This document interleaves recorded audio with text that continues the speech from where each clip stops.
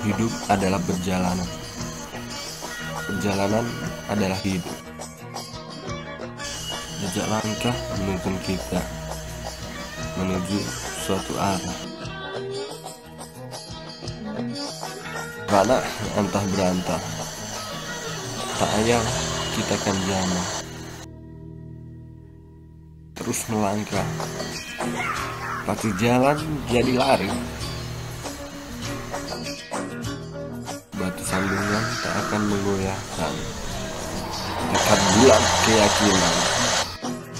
Di mana bumi dipijak di situ kita berada